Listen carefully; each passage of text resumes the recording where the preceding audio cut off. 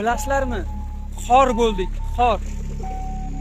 Biz jinoyatchi bo'lmasak biz qotil bo'lmasak biz korrupsioner bo'lmasak biz davlatni byudjetini yemasak kelib musofirchilikda qiynalib ishlasaku va bu hol va bu holni ko'rib insonni bag'ridir eziladi do'stlar. Mana shu videoni ko'ringlar.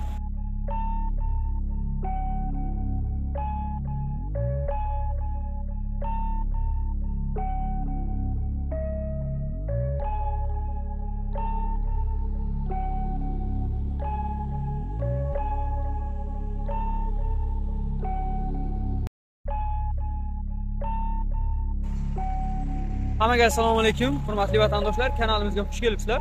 Men bu videoni uch kun oldinmi ikki kun oldin ko'rgan edim.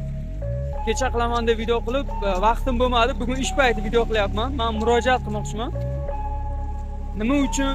E, bu bechora musofirlar farzandini xotinini oilasini ota onasini tashlab kelib mana bu yerda ishlayaptida lekin e, xuddi bir jinoyatchiga muomala qilgandek ya'ni xuddi bu jinoyatchidek misol buni svassa deydimi bunimi? Ustidan kulish deydimi yoki xalqni shunchalik orqasida hech kim yo'qligi degan dalilatmi bu? Men tushunmay qoldimda bu nimaligini lekin bunaqa bo'lmasligi kerakda. Hurmatli deputatlar ana ko'ryapsizlar a moshina narxini ko'tarasizlar. Boshqa boshqa narsalarni narxini ko'tarasizlar.